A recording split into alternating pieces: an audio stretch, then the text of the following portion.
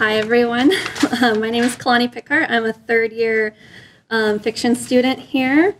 Um, so, uh, when I was given the opportunity to introduce one of our readers this evening, um, I felt both deeply honored and humbled.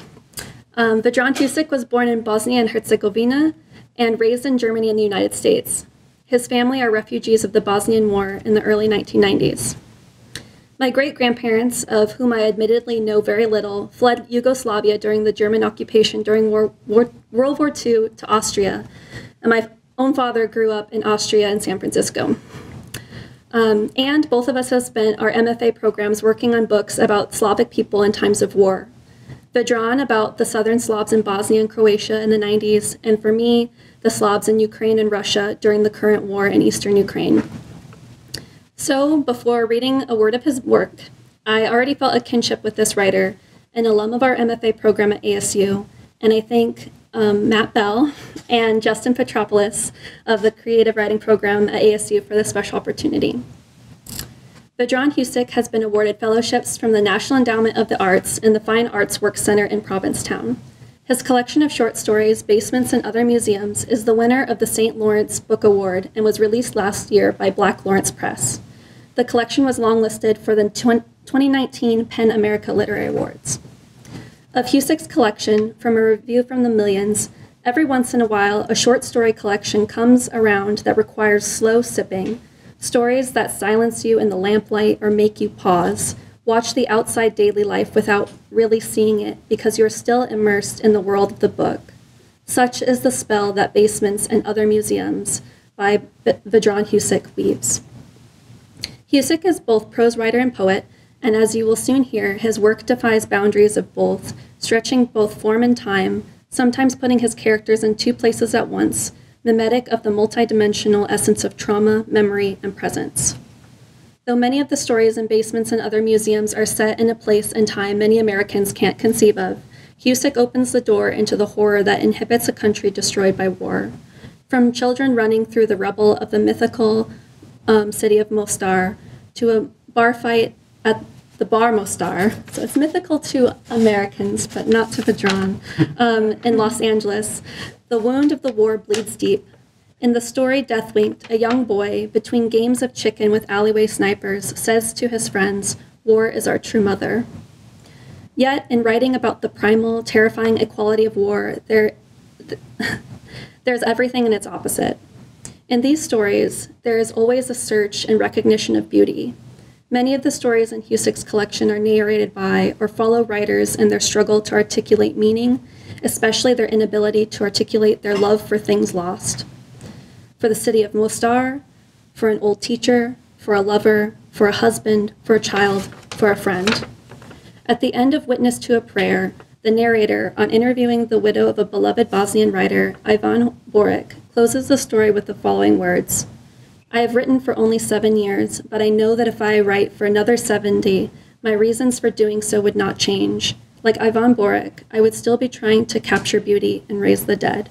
It is my honor to introduce Vedran Husic.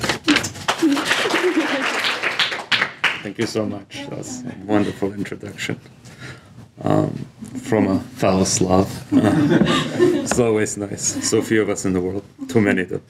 Um, it's it's wonderful being back here. Um, some of the most wonderful times in my life have been in Arizona, it's beautiful to be back. So, thank you to everybody who made this happen, and thank you for all of you who came um, to listen to us.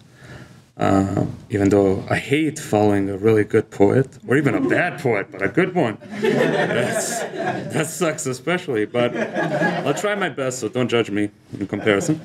Um, I'll start off with, um, ooh, I'm gonna start off with some prose poetry. Um, just, uh, just to throw you guys, or, or a flash fiction, whatever. Um, whatever you guys want to call it. So I'll start off with that, and then I'll get into the main story. This is called a brief history of Southern Slavs. And once you know this, you know everything. Um, they knelt upon the land, unable to walk any longer, blessed the ground, named the river, flourished and multiplied, had a god for each season, then had only one god, the winter god, broke their faith upon a stone, divided the tribe, died standing up, hid in the hills from tax collectors, slept fitfully through dreamless nights, grew cunning, reaped the harvest, raised pigs, turned landlords when there wasn't war, passed down in song how they lived, how they suffered, how they were trodden upon but overcame, rebelled against kings, repelled against the weather, against the heights of mountains and what stood beyond their divided blood, formed the state, fought a war, fought another, fought one more, were invaded, were enlightened, were betrayed, wore progressive shoes, put on reactionary hats, whispered in the presence of books, became prisoners of ideas, then arrogant like all non believers, then violent like all who regained their faith. So, the story I'm going to read is the story I always read. I get so tired of it. But the other ones are just not short enough. Um, so, this is Death um, which was pretty much like the story I wrote here my first semester. Um, and I was reading a lot of Celan, uh, and this was in Cynthia Hogue's translation class, which I ended up dropping because I had to write the story, so it was, it was cool. Um, so it's like Celan inspired the story in particular, but all of the stories in this collection uh, were inspired by his poetry. So it's that's an epigraph from um, his poem, I Hear the Axe Has Bloomed. I hear the axe has bloomed. I hear the place is not nameable. I hear they call life our only refuge. Death winged. We called Sniper Alley the Alley of Wolves. We were young and boys and had nicknames for everything. First of all, the girls. There was the nanny, the epilogue, and the soul crusher. We thought these nicknames very clever breathless with truth. We were 13 and easily excited. To be killed by a sniper meant to be death winged, a verb. I came up with that. I had a minimum of an understanding of poetry, a maximum amount of fear. We ran across the alley of wolves to test our recent manhood, among other things. We ran because there was nothing better to do. We ran because it was more bearable than standing still. We were young and anxious to be brave. We were practicing martyrs. Our fathers were gone, mine gone forever, heaven swallowed one winter night at the front. Miralem's father was still at the front, firing his gun at a threatening distance. All three of us dreamed of soldierhood and feared that the war would soon run out. Edin's father had come back from the front and was gone in yet another way halfway between the going of Miralem's father and the never coming back of my father. He was crazy, according to the completely not insane. He spoke the names of the dead, but not in his sleep like normal people. He confused the living for the dead, which worried the living. We all smiled at him and pitied him the best we could.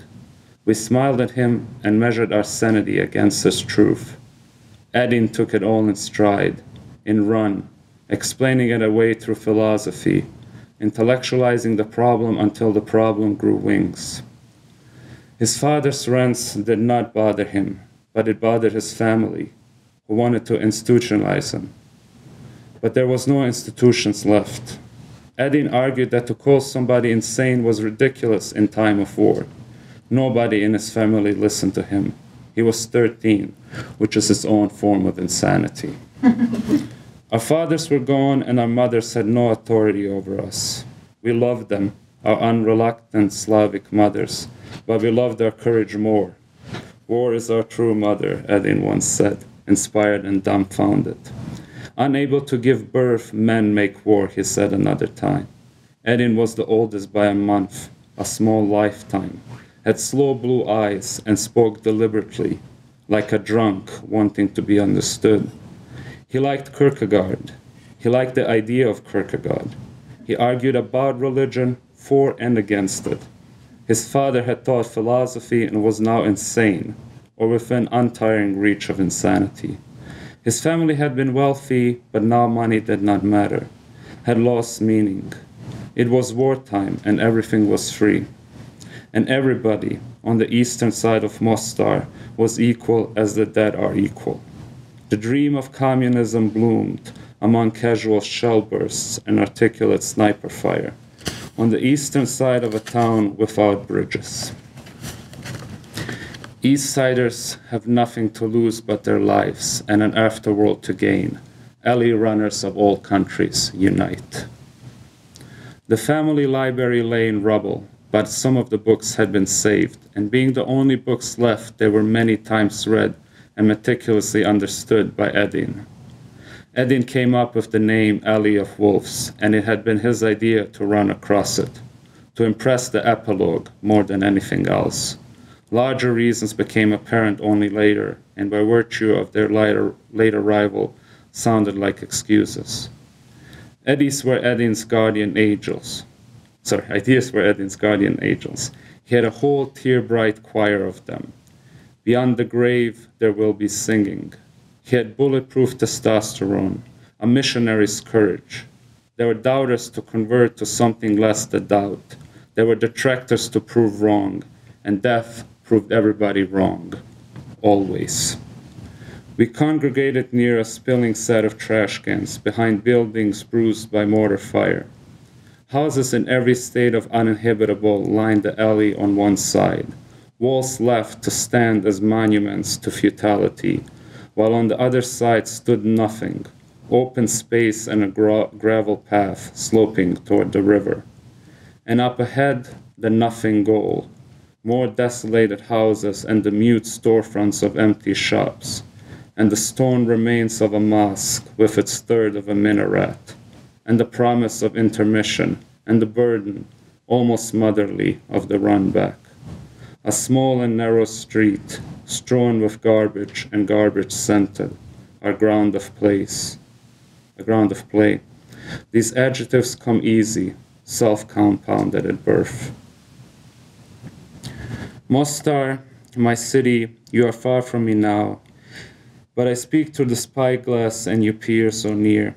In my third floor apartment, in a never desperate America of my childhood dreams, at my desk, armed with pencil and paper, sensitive as a landmine, fumbling similes like live grenades, I, the young, triple tongued poet, write the name of my birth city like the name of a former lover. Mostar. Mostar, my city, stand quiet, they took the most, threw it in the river, and made you unnameable. My city, one night you went dark all around me. You trembled and could not be embraced. The bombs fell on you, near constant and heartbeat loud. I recommend war tourism to any artist, poet especially. A month or so of up close death, a month or 23 of dark hour explosions in a world maddened by sirens. You'll never lack material or have to account for sudden mood swings. And you'll never lose at those drunken games between friends, intimate games, those poetic games of who suffered most. Three floors are enough to kill a man. The truth hearing poet gives the truth sharpened tip of his pencil a lick. He writes, Three floors are enough to kill a man. There can be no hate without memory, to love is to imagine in the white notes of other feelings. That with his pencil the poet writes the truth is implied, was implied, is implied no longer. He gives the pencil another swift lick.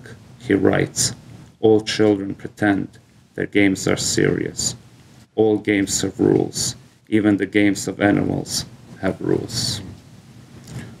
Our game had but a few rules. If you ran last yesterday, you ran first today. That was one rule. If you ran across the alley to the other side, you must run back. That was rule number two. For there was another way back, sniperless but long. And there were rules of which we were ignorant, the secret rules of the sniper. But whether the sniper followed any rules was left to debate. Sundays we did not run. Yesterday, Miralem had run last. He would run first today. Who would run second once decided by a coin toss? Edin would run second. I last. Tomorrow I would run first. Tomorrow I would not run. The time leading up to the first run was the happiest time of the day. Our concentration lax, our muscles fearful and limber, our wor- the words between us intimate, unexpected, binding. Sometimes we sang. It was morning during the week of lentil soup. Miralem stretched his arms and legs, while Edin and I sat on opposing stubs of stone, arguing in war hushed tones. The blue sky promised no rain, and the sun looked a blotchy and vague yellow. Miralem threw one arm behind him and pressed the bent elbow with his other hand, his legs wide apart, his torso stout and armless. The ember sheen of autumn leaves, the gazelle like wind, the abashed real leaf rustle, they all spoke in different languages about the same things beauty, nature, truth poetry. We spoke of philosophy, Edin and I, while Miralem quietly and thoughtfully stretched. And in the new dawn's unraveling silence, under a sky morning pure blue, the sniper fired the first shot of a long day. Bullet, trash can, a metal ping, almost adorable, almost loud. We turned our heads toward the sound, then toward each other, then back. We resumed our conversation, and Miralem joined us. He was arguably pretty, one of those who narrowed their eyes when they grinned, one of those who gestured with their fists. He, his eyes were green, a little blue, and he had a full Slavic forehead, broad and thought pale. He was short but athletic. He was short and had a temper. He did not like tall girls. He did not like the soul crusher with whom I placed with whom I played games in death-proof basements. There we spoiled each other for our future selves. He brought daily lilies for the nanny and kissed her deeply, with a more meaningful tongue, with more daring and saliva than I ever did Selma. I write her name like the name of something lost. She knew how to swing the hips she did not have, she knew how to haggle long enough and long enough and good enough to make you give up everything. With her smile, she fooled you into laughing at yourself. With her laughing eyes, she crushed your soul. She dreamed of a husband with money. She dreamed of big hips, a skirt full of memories, everything I have, for a handful of her skirt. Miralem had played soccer before the war before the cemetery turn of every idle field, before the dead packed stadiums. He was fast and his run was urgent and blind. It was a sprint, and he ran with his head down. And yesterday he tripped and fallen a yard or so from safety. The sniper had fired and missed. He did not fire again. A little dust rose, it settled. Miralem was on the other side by then bent over with his hands on his knees, breathing greedily. He did not fire again as if to let us take in the full magnitude of his miss or to impress us with his patience. The confidence of those with death on their side, how could we ever understand it? Miralem said nothing when we got to him, his tender calm edging on some kind of bewilderment. And after the run back, we walked home in silence, and parted from each other in silence, the silence of race stakes. Now Miralem ridiculed the sniper, saying that he missed because he was a bad shot and not on purpose, saying he, he was some fat, pimply boy playing at war and not a man of many battles, not a man at all, just a novice at death and not worth the fantasy of our revenge. But Edin wouldn't have it. No, to him he was a man and a master, a Machiavellian sniper prince with a nihilist's love of beauty. His aim is steady and true. He shoots you with a shot made of lead. His slit eye is Catholic blue. Edin had read his Celan, saved from the rubble. Death is a master from the Balkans, but it is more intimate than that. He's a close relation, the mysterious uncle bearing strange gifts at each pathetic visit the one who winks at you behind your parents' back. We were brought up on his knee, on the black milk of his wisdom. Our blood is his blood. the one who waltzes you across the alley of wolves, the one who lets you stand on his feet as you move against each other in this gently wicked dance. Our songs are his songs. He sings into your hair as you dance. He whispers into your ear, forbids you to stop. Miralem ran across the alley with his head down, with his head only slightly lifted toward the end. Alive on the other side, he grinned at us, his eyes almost closed. Then it was gone. The grin, memory wiped, collapsed into a thinking pout. The sniper had not fired. Sometimes he didn't. And when he didn't, he blessed our run with innocence, like running before the war. Sometimes that was all we wanted. We had run for a month now. We had been in this war for years, and we weren't getting any wiser. So why not go back? to a time of sparrow and swirled minarets and non firewood lindens, to a time of packed cafe terraces and their murmur like rushing water, when death and, the, and its mirror image, life in war, were as distant as nightmares after waking. In front of our buildings, punched blue and black by rockets, was a large courtyard, and this courtyard had been the setting of our first game a game of collection. Under the spell of sunlight and tall grass, we'd search for bullet shells and find also glinting syringes, unkept bottles of pills, an occasional limb abstracted from the body. One day we found a mortar shell the size of a baby seal, unexploded. We dared each other to touch it. Eddie moved toward it and extending an unsteady finger. Boom, Miralem yelled at the point of contact, and Eddie jumped back. Miralem laughed, and Edin fumed. They fought it out, and afterwards both fumed. And as they sat on opposite sides of the projectile, not looking at each other, I got up from my seat and placed my palm against its belly. The metal was scorched by the sun and felt smooth and naked to the touch. And I, I let my finger linger haughtily, waiting for them to notice. I felt an upward rush of courage, like a declaration. Miralem and Edin joined me, our three hands pressed against the hot metal in a silent oath. That was when we knew we wanted to be soldiers and never die. Beyond the broken down stores and houses, beyond the kneeling minaret, on the other side we first ran to reach was, the was their headquarters in the sandbag gymnasium of a shell-bitten and nearly roofless elementary school. We peeked on three soldiers, all three young. We watched them gather by the corner table, watched two of them sit on upturned milk crates and the other stand, watched them eat lentil soup from a can that was warmed by old fashioned fire, watched them listen to a portable radio as they ate with no hope of satiation Watch their hands busily scratch and their lips seldom move. Watch all three turn toward the radio when the human voice got lost behind an unrelenting tearing of sandpaper.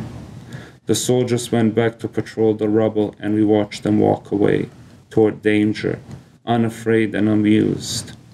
There was something solemn about their amusement, something sensual and elusive about the way they carried themselves in their war stained boots and burden heavy uniforms. Something eerily casual about the guns slung over their shoulders, lustful and sentimental about their lack of helmets. What bleak respect we had for them, all godlike and dusty loined. They were not so much defenders of our city as defenders of our dream of the city. The odds were against them, but the crowd was on their side the cheer of the wind in the trees. We wandered about for a while, wasting time before our run back. It was getting to be noon, the shadows growing long and ragged.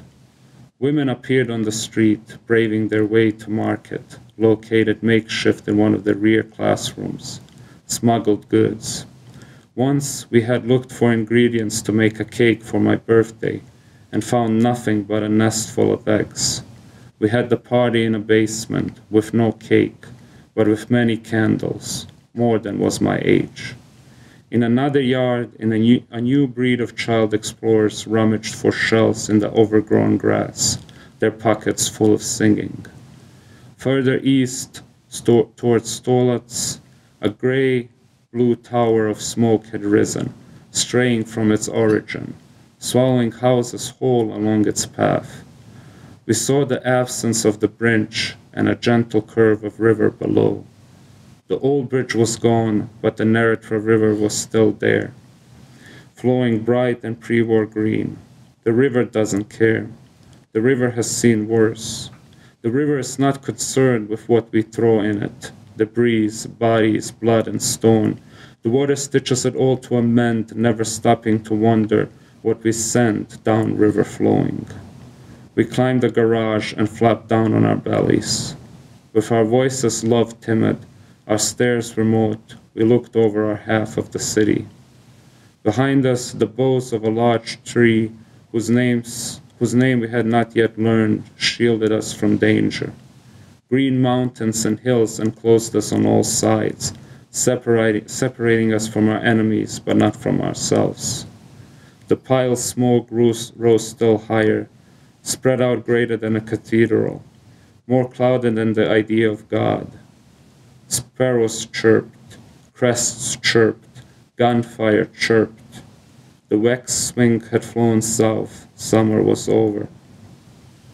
The dandelions had been beheaded, the lilies had hanged themselves.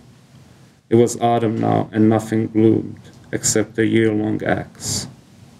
Miralem was on the starting side again, alive and well, and one day braver, while Edin stood at the edge of safety, waiting to run. He stood just behind a little shop, its interior gray and plundered. Before the war, I ran there to get emergency Vegeta for my mother. And sometimes its owner, old and Hellenic Mr. Salamovich, would call me into the back and ask me to stack some items for him, rewarding my impromptu work with free candy. I remember red jars of Ajvar, tall glass bottles of Laro juice, and those compact silver cans of Eva sardines with a waving walrus dressed as a sailor on the blue cover. I remember Dorina chocolates and Bananco bars, Bayadera pralines and Napolitanke wafers, and Jaffa cookies with their chocolate skins and orange jelly hearts. I remember a balance scale on the counter with numerous dust colored weights in increasing sizes of mass. I remember the slow sway of its thin shoulders, the delicate movements of its plates, their eventual hard earned symmetry. One surging whiff of Vegeta, and I am back in the light filled kitchen beside my mother, who smells of red vegetables and spices, standing innocently in the way and marveling at her instinctual measurements. Just one whiff, and I remember my mother, half orphaned by one war, wholly widowed by another, tasting the sauce and smiling down at me, her expert opinion. Music comes from the living room, where my father is taking his afternoon nap. This tells me that we already ate, that the food being prepared is for tomorrow, that despite the Sunday texture of this memory, this is more likely a work day, a day my mother will end at the hospital, where she will begin a new day, working at her typewriter, giving injections, changing sheets. The number of coffee cups on the table tells me there will be guests, our next door neighbors, a Catholic man who always guessed the card in my hand, and his Muslim wife, who could read the future in the muddy remnants of the coffee. Edin stood on the brink of danger, waiting to prove his bravery. But in war, everybody is brave, even the coward. Even the sniper at his post beguiling the fates. The three soldiers patrolling the rubble, they were braving another day of boredom, their courage doomed. Huddled around the radio, they waited for the news to tell them what they already knew. The war will not end today. The children in the tall grass and the bloom of their inexperience, they were brave without knowing. The women in search of food, carrying their grief inside them like a long pregnancy, their bravery no consolation for their loss. Everybody is brave in wartime, everybody wise, even the fool with his warning. We were just braver, the answered prayers of our patient tormentors. victims of our own deaf mind wisdom, strange, prideful lambs, we made our courage our God. Like every rose is a flower, every Slav boy is an Icarus. Edin was on the verge of his run, waiting for a favorable sign that only he knew how to tell.